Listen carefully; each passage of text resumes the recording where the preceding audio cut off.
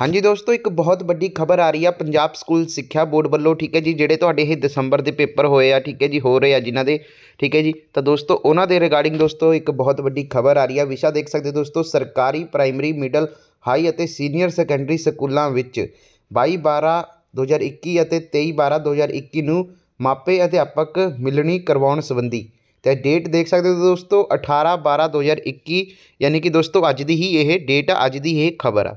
ਤੇ ਦੋਸਤੋ, ਅੱਗੇ ਪੂਰਾ ਇਹਨਾਂ ਨੇ ਕੀ ਲਿਖਿਆ ਕਿ ਪੰਜਾਬ ਦੇ ਸਰਕਾਰੀ ਸਕੂਲਾਂ ਵਿੱਚ ਪ੍ਰੀ ਪ੍ਰਾਇਮਰੀ ਜਮਾਤ ਤੋਂ ਲੈ ਕੇ 12ਵੀਂ ਜਮਾਤ ਤੱਕ ਪੜ੍ਹਦੇ ਵਿਦਿਆਰਥੀਆਂ ਦਾ ਦਸੰਬਰ ਪ੍ਰੀਖਿਆਵਾਂ ਦਾ ਵਿਸ਼ਾਵਾਰ ਮੁਲਾਂਕਣ ਕਰਕੇ ਵਿਦਿਆਰਥੀਆਂ ਦੀ ਕਾਰਜ਼ਗਾਰੀ ਸੰਬੰਧੀ ਮਾਪਿਆਂ ਨੂੰ ਜਾਣੂ ਕਰਵਾਉਣ ਦੇ ਉਦੇਸ਼ ਨਾਲ 22 12 2021 ਅਤੇ 23 12 2021 ਨੂੰ ਮਾਪੇ ਅਧਿਆਪਕ ਮਿਲਣੀ ਕਰਵਾਈ ਜਾ ਰਹੀ ਹੈ, ਯਾਨੀ ਕਿ ਪੇਰੈਂਟਸ ਟੀਚਰ ਮੀਟਿੰਗ।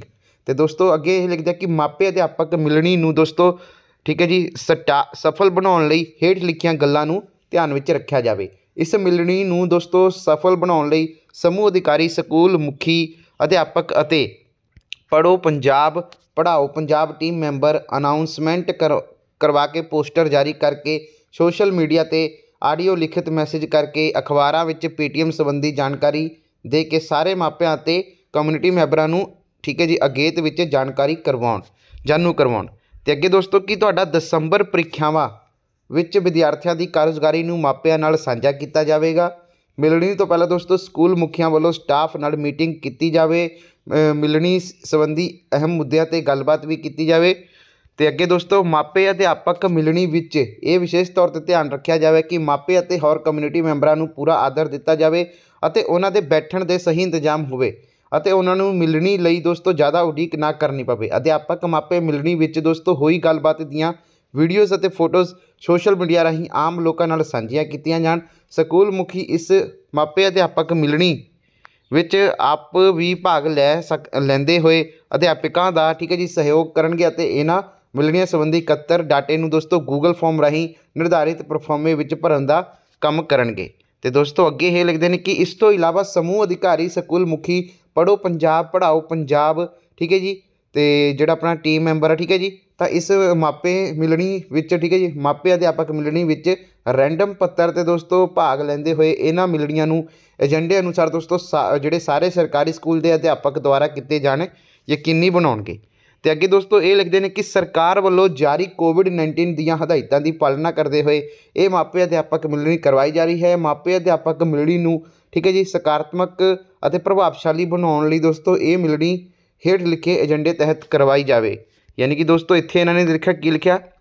ਕਿ ਵਿਦਿਆਰਥੀਆਂ ਦੇ ਚੰਗੇ ਪੱਖਾਂ, ਜਿਵੇਂ ਕਿ ਜਮਾਤ ਵਿੱਚ ਕਾਰਜ਼ਗਾਰੀ ਹਾਜ਼ਰੀ ਹੋਮਵਰਕ ਸੁੰਦਰ ਲਿਖਾਈ ਆਦਿ ਸੰਬੰਧੀ ਦੋਸਤੋ ਮਾਪਿਆਂ ਕੋਲ ਪ੍ਰਸ਼ੰਸਾ ਕਰਨੀ, ਮਾਪਿਆਂ ਨੂੰ ਇਸ ਗੱਲ ਵੀ ਪ੍ਰੇਰਿਤ ਕਰਿਆ ਜਾਵੇ, ਕੀਤਾ ਜਾਵੇ ਕਿ ਉਹ ਹਰ ਰੋਜ਼ ਆਪਣੇ ਬੱਚਿਆਂ ਵਿੱਚ, ਸਕੂਲ ਵਿੱਚ ਕਰਵਾਈ ਜਾ ਰਹੀ ਪੜ੍ਹਾਈ ਬਾਰੇ ਗੱਲਬਾਤ ਕਰਨ ਪੀਟੀਐਮ ਦੌਰਾਨ ਦੋਸਤੋ, ਠੀਕ ਹੈ ਜੀ ਸਕੂਲ ਵਿੱਚ ਇੱਕ ਸੁਝਾਅ ਬਾਕਸ ਵੀ ਰੱਖਿਆ ਜਾਵੇ ਅਤੇ ਜੋ ਮਾਪਿਆਂ ਅਤੇ ਬੱਚਿਆਂ ਦੇ ਸੁਝਾਵਾਂ ਦਾ ਫਾਇਦਾ ਉਠਾਇਆ ਜਾ ਸਕੇ ਅਤੇ ਅਧਿਆਪਕ ਦੁਆਰਾ ਦੋਸਤੋ, ਜਿਹੜਾ ਚਰਚਾ ਦੌਰਾਨ ਮਾਪਿਆਂ ਅਤੇ ਵਿਦਿਆਰਥੀਆਂ ਨੂੰ ਸੁਝਾਅ ਬਕਸਾਂ ਅਤੇ ਇਸ ਦੀ ਵਰਤੋਂ ਬਾਰੇ ਜਾਣਕਾਰੀ ਦਿੱਤੀ ਜਾਵੇ, ਠੀਕ ਹੈ ਜੀ। ਤਾਂ ਦੋਸਤੋ, ਇਹ ਪੂਰੀ ਖਬਰ ਆ, ਜੋ ਕਿ ਦੋਸਤੋ, ਪੰਜਾਬ ਸਕੂਲ ਸਿੱਖਿਆ ਬੋਰਡ ਦਾ ਜਿਹੜਾ ਡਿਪਾਰਟਮੈਂਟ ਆ, ਠੀਕ ਹੈ ਜੀ, ਆਪਣਾ ਰਾਜ ਸਿੱਖਿਆ ਖੋਜ ਅਤੇ ਸਿਖਲਾਈ ਪ੍ਰਸ਼ਿਤ ਪੰਜਾਬ ਠੀਕ ਹੈ ਜੀ, ਜਰਨੈਲ ਸਿੰਘ ਡਾਇਰੈਕਟਰ ਇਹਨਾਂ ਦੇ ਸਿਗਨੇਚਰ ਵੀ ਨੇ, ਠੀਕ ਹੈ ਜੀ।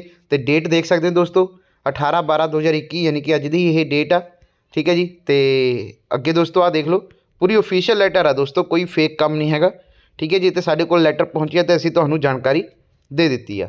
ਤਾਂ ਦੋਸਤੋ, ਹੁਣ ਇਹਦੇ ਵਿੱਚ ਇਹਨਾਂ ਦਾ ਕੀ ਮਤਲਬ ਆ ਕਿ ਬਈ ਸਰਕਾਰੀ ਪ੍ਰਾਇਮਰੀ, ਮਿਡਲ, ਹਾਈ ਅਤੇ ਸੀਨੀਅਰ ਸੈਕੰਡਰੀ ਸਕੂਲਾਂ ਵਿੱਚ, ਠੀਕ ਹੈ ਜੀ 22 12 2021 ਅਤੇ 23 12 2021 ਨੂੰ ਮਾਪੇ ਅਧਿਆਪਕ ਮਿਲਣੀ ਕਰਵਾਉਣ ਸੰਬੰਧੀ ਆ, ਠੀਕ ਹੈ ਜੀ, ਜਿਹਦੇ ਵਿੱਚ ਇਹਨਾਂ ਨੇ ਇੱਥੇ ਆ ਵੀ ਲਿਖਿਆ ਹੋਇਆ ਕਿ ਬਈ ਜਿਹੜੀ ਦਸੰਬਰ ਪ੍ਰੀਖਿਆਵਾਂ ਵਿੱਚ ਵਿਦਿਆਰਥੀਆਂ ਦੀ ਕਾਰਗੁਜ਼ਾਰੀ ਨੂੰ ਵੀ ਮਾਪਿਆਂ ਨਾਲ ਸਾਂਝਾ ਕੀਤਾ ਜਾਵੇਗਾ।